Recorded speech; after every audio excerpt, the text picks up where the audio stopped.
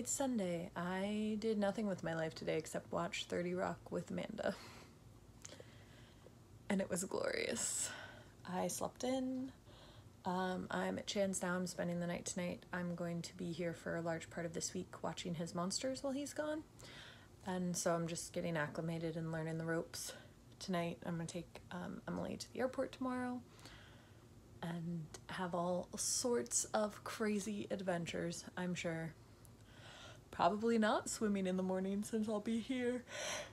I'm at home, but maybe I'll swim in the afternoon. Mix it up. Get some sunlight during my swim. Ugh, that sounds terrible actually. Maybe I won't do that. Um, let's see. What can we talk about? So I've watched most of the first season of 30 Rock. That show is hysterical. I'm really enjoying it. It's very clever. I don't know why I didn't watch it before. It's clearly right up my alley. I also rewatched all of seasons one and two of Stranger Things with Amanda so that we're ready for season three, which releases in just a few days. And we're excited to see where that goes and watch that.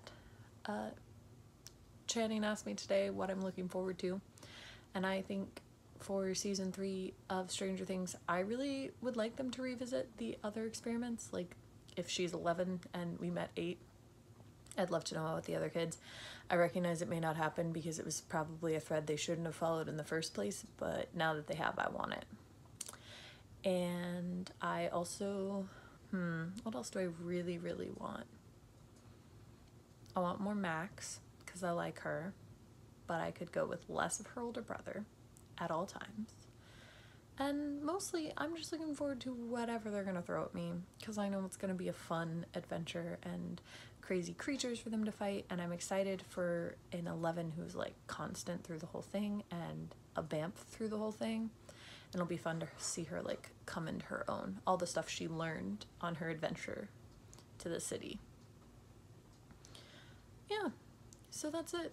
A nice talking with this lovely background and I'm gonna get some sleep because it's literally like 2 in the morning.